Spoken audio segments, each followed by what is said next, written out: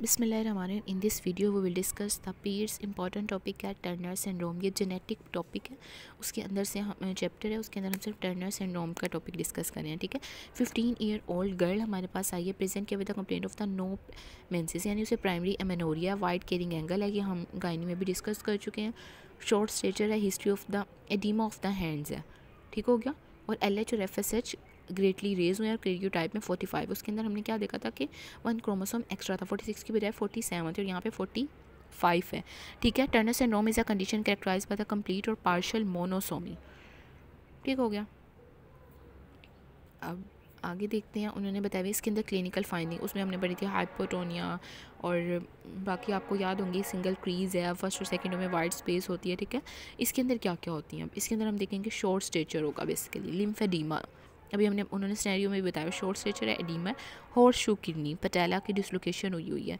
Elbow का जो क्यूबाइटस वेल्कस यानी कि कैरिंग एंगल जो होता है, वो इंक्रीज़ हुआ होता है हिप डिसलोकेशन है स्कोलियोसिस है वाइड स्प्रेड निपल है शील्ड चेस्ट है नकल स्किन यहाँ पे जो हेयर लाइन प्रेजेंट होती है coarctation of aorta aortic valve conduction normalities है, उसके अलावा हाइपोप्लास्टिक लेफ़्ट हार्ट सिंड्रोम है।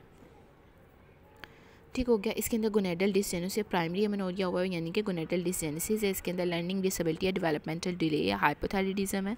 टाइप टू है स्ट्रेबिसमस है करेक्टर इसमें red colour red green colour blindness हुई होती है। Recurrent otitis media sensory neuron hearing loss होता है आईबीडी और सीलिक डिज़ीज़ है। अब इसको मैनेज कैसे करेंगे? इन्होंने बताया इसका भी कोई क्योर नहीं है।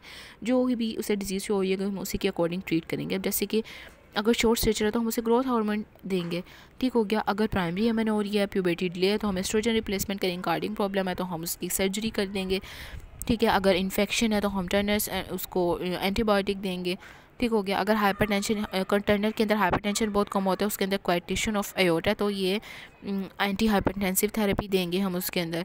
इसके अलावा जैसे हाइपोथायरॉइडिज्म था, हमें एंटी थायरॉयड ड्रग्स देंगे इनफर्टाइल है तो इसमें हम डोनर ओवम देंगे। ठीक हो गया, मैं lead to the normal healthy और हैप्पी लाइफ ठीक है? मेडिकल ट्रीटमेंट से ये एक हैप्पी लाइफ गुजार सकते हैं। अब हम इसके पास पेपर डिस्कस करेंगे। अब उन्होंने बताया है कि टर्नर सिंड्रोम का पेशेंट है, a fifteen year old girl है refer to the evolution of the short stature a bowel habit satisfactory है कॉन्स्टिपेशन ऑन एंड ऑफ़ है। नॉट परफॉर्मिंग वेल है मिनाल की हैज़ नॉट ये started weight thirty K G या height one thirty five है neck seems short low hair line पर अब उन्होंने अदर थ्री क्लिनिकल फाइंडिंग कोई भी आप बता दें जैसे हाइपरटेंशन भी हो सकती है, इसके अलावा low set of the ear होता है रेडो ग्रीन ब्लाइंडनेस एश और स्ट्रेबिसमस भी होता है इसके अंदर तो कोई भी थ्री तीन बतानी है जो आपके माइंड में हाइपोथायरिडिज्म भी हो सकता है। ठीक हो गया, अब उन्होंने तीन invest clinical diagnose Turners and में थ्री इन्वेस्टिगेशन उन्होंने पूछी है इन्वेस्टिगेशन आप बताएँ क्या करवा सकते हैं? यहाँ पे तो उन्होंने आई थिंक नहीं बताई हुई, इसके अंदर वही हम कैरियो टाइपिंग करवा के देखेंगे। इसके अलावा कैरियो टाइपिंग करवा के देख लेंगे हार्मोनल लेवल चेक करवा लेंगे अल्ट्रासाउंड करवा के देख लेंगे। ठीक है? बस इनफ है ये।